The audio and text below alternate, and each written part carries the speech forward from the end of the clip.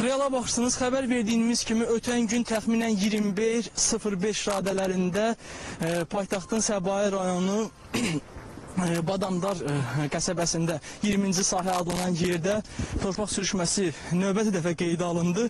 Niyə növbəti dəfə? Ötən illər ərzində də bu, bu zonada hərəkətlilik var idi, sürüşmə qeydə alınırdı. Amma bu dəfəki sürüşmə sahəsinə görə əvvəlkilərindən xeyli fərqlənir. Nəyə görə xeyli fərqlənir? Ona görə ki, e, böyük bir ərazini əhatə eləyir və ötən gündən bu günə kimi bura mütəxəssislər cəlb olunub, araşdırmalar aparılır. Elə araşdırmalardan söz düşmüşkən istərdik ki, bizə bu haqda məlumatı Ekologiya və Təbii Sərvətlər Nazirliyinin Milli Kəşfiyyat Geoloji Kəşfiyyat İdarəsinin mütəxəssisi e, Rafiq müəllim Həsənov məlumat versin. Rafiq müəllim, bax kəşf araşdırmaların nəticələri haqqında bizə məlumat verə bilərsiniz. Hal-hazırda Milli Geoloji Kəşfiyyat Xidmətinin mütəxəssisləri tərəfindən ərazidə araşdırma işləri aparılır.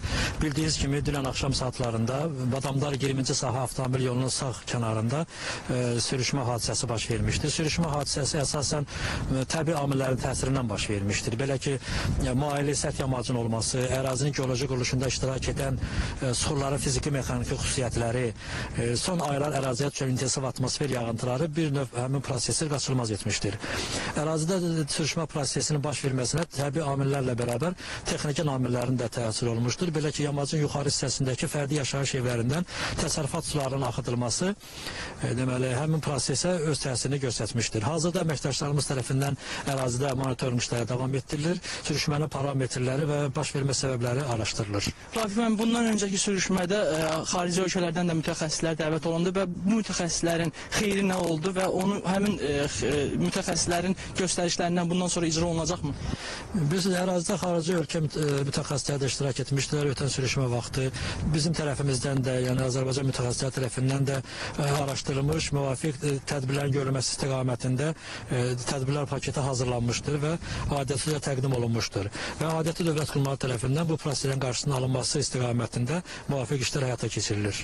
Siz qeyd etdiniz ki, burada təbii amillər rol oynayır və digər amillər də var. E, Digər amillər sırasında dediniz ki, su sızıntıları. Bax, e, bu insan amilində burada e, yaşayan e, sakinlərdən bəziləri bildirdilər ki, yuxarıda tikinti gedir. Bax, bu haqda araşdırma aparılıbmı? Bəli, belə ərazidə mütəmadi olaraq tərəfimizdən araşdırma işləri aparılır. Ümumiyyətlə ərazi sürüşmə ərazisidir və ərazi deməli Abşeron yarımadasında təhlükəli sürüşmə sürüşmə sahələri albomuna daxil edilmiş bir sahədir. Bu ərazidə hər hansı bir e, tikinti işlərinin aparılması, yamaca texniki müdaxilənin e, olması məqsədə uyğun hesab edilmir. Və əgər ərazidə müəyyən işlər, tədbirlər həyata keçirilirsə də adəti dövlət qurumları ilə razılaşması məqsədə uyğundur. Və son olaraq bilmək istərdik dəyən ziyan. Deyəsən hal-hazırda araşdırma işləri aparılır. Mütəxəssislər tərəfindən olsun ki, Ekologiya Təbii Sərvətlər Nazirliyinin əməkdaşları və digər adəti dövlət qurumları tərəfindən araşdırmalar aparılır. Yəqin ki, bu haqqda əlavə məlumat veriləcək. Çox sağ olun müəllim.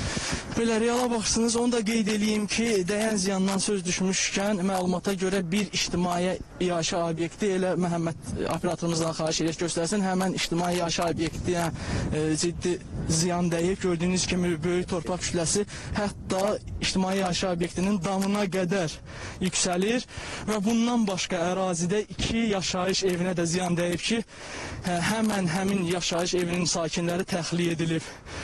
Belə qeyd etdiyimiz kimi araşdırmalar davam etdirilir. Ən son məlumatları real olaraq biz sizə çatdırmağa davam edəcəyik.